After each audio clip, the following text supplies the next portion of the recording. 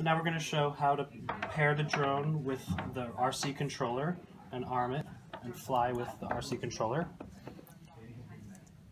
You'll notice that the receiver board blinks yellow when we turn it on.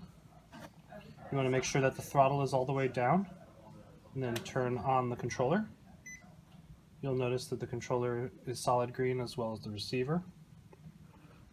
To arm the drone, we want to push the throttle trim down. We'll start the calibration sequence. When it's armed, you can turn up the throttle and it'll fly. To double the range of the controller, we push in the right control stick. You'll notice it's blinking orange.